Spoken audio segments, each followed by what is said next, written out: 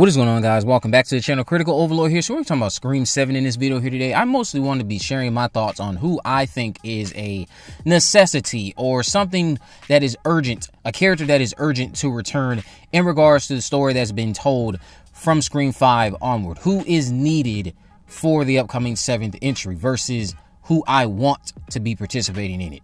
So before I get into that, I did want to touch on this whole idea of Jessica Rothe possibly being in Scream 7. Scream 7, we know, is going to be directed by Christopher Landon, who signed on prior to the strikes. And it is going to arrive sometime in maybe late 2024, if we're lucky, at the latest early 2025, I would imagine. So, earlier this year, Christopher Landon actually had an interview with Cinema Blend where he was talking about Jessica Rothe and did disclose that they're working on something new together.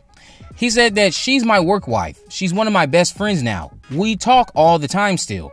We're working on something else together right now. I would love to make movies and create stuff with her for the rest of my life. She's amazing. Now, this is in regards, he did this when he was asked about Happy Death Day and the status of Happy Death Day 3, but he also revealed that he's working on something with Jessica. So now, knowing what we know and knowing that he signed on prior to the strikes, I'm wondering how much about Scream 7 has kind of already been pre planned and set up as stuff they want to do, and if everything pans out well with the AMPTP and the ongoing strike still could Jessica Rothe actually be working to be included in Scream 7? Could they have already been going over ways to incorporate her into one of the roles that have already been pinned in the screenplay for Scream 7? That's something that I think is highly possible given that he revealed earlier this year that he is working on a project already with Jessica.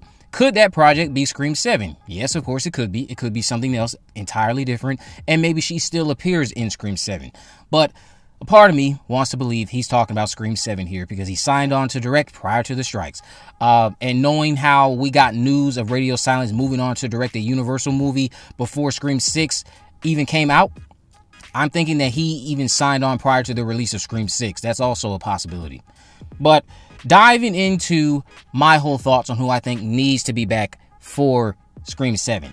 Scream 5, and again, this is me talking about who needs to be, not who I want to be. If it were completely up to me, my whole entire wants would completely overshadow my better judgment when it comes to respecting the story being told. And I, yes, would have Sidney Prescott back because that is a want. That is a selfish want of mine that will really ultimately undermine the story that's being told from Scream 5 onward they decided to prop up a story about a woman named Sam Carpenter, who is the daughter of Billy Loomis, and mirror it in a lot of ways to the trilogy that has already existed, or that already exists, I should say, regarding a very beloved character named Sidney Prescott. It's mirroring her trilogy in a lot of ways. So, in, in an effort to recognize the story they're telling, the people who are urgent in regards to needing to come back, obviously Sam. Second, you're you're creating all this mystery around the nature of her parents and that relationship. What was that actually like? What is Christina's role in all of this in, in comparison to her relationship to Billy? So, Christina, already somebody who I would think is someone we need to meet. There's a lot of mystique being built around her, a lot of intrigue being built around her. Uh, I could probably say you could maybe do without Tara, but in in regards to the story being told, Tara is also someone I would say is more of an urgent need for the Sam story that's being told since Scream 5 in comparison to what I would want, which is a character like Sidney Prescott to return once again.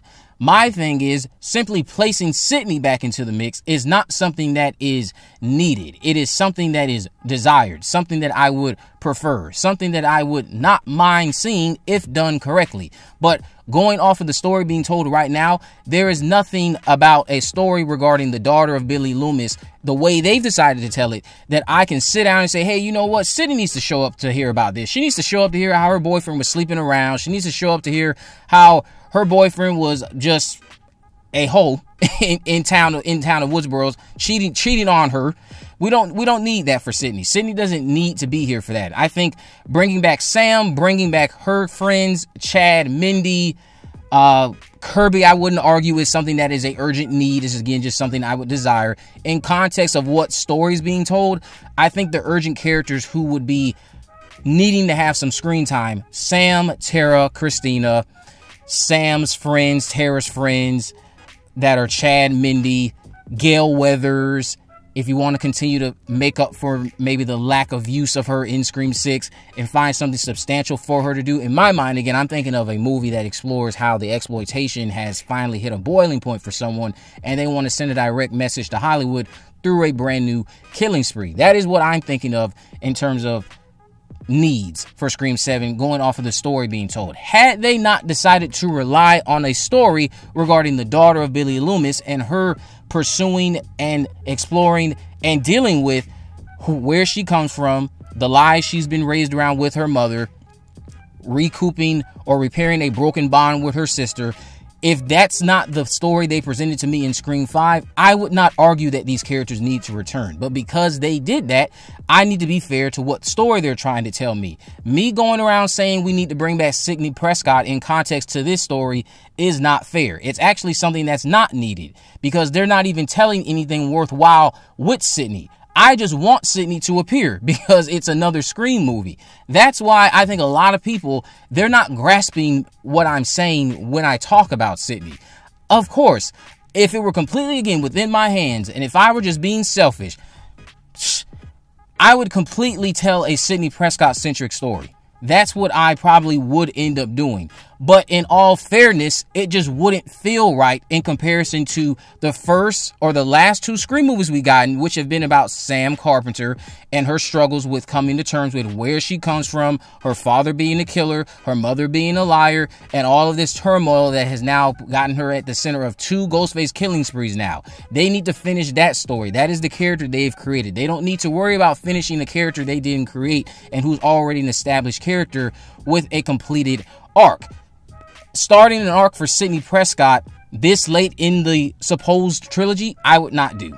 I would not do that. I would simply give her something meaningful, worthwhile if you decide to write her in and have her tag along if you had to do that, which I really don't want to see her just tag along, but I think that's what we're going to end up with. I'm really scared of having a very crowded film where not everyone is going to be developed well enough, and then I'm going to be coming on here saying, hey, you know what? They tried to satisfy so many people, they lost focus of the story they were telling. I think they need to just focus on Sam, finish her story, give her something that many people can resonate with, make everyone who doubted her upon meeting her in Scream 5 choke, and give us a worthwhile conclusion to that story. And if it's the end of the series as we know it, then so be it.